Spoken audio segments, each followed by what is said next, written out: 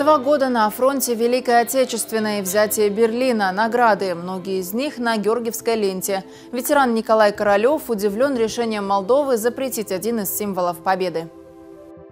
На орденской планке Николая Королева 12 наград, 5 из них с Георгиевской лентой. В самом центре на почетном месте за взятие Берлина. Ветеран Великой Отечественной не понимает, как можно запретить черно-оранжевую ленту, ставшую одним из символов победы. Очень плохо. Почему? Потому что ну какое дело, что я ношу? Лишь бы не было оружия. А что, чем я одет, мне все равно.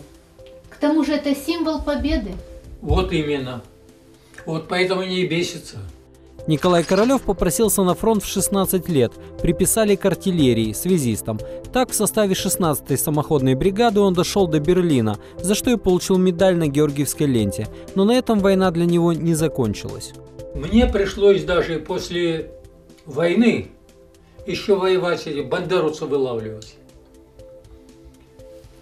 После Берлина, когда взяли Берлин, нас бросили уничтожить группировку южнее Берлина.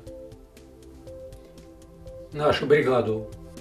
9 мая для ветерана двойной праздник, День Победы и день рождения дочери. В этом году ей исполняется 73. Живет в Калининграде. Николай Королев надеется приехать к ней в гости.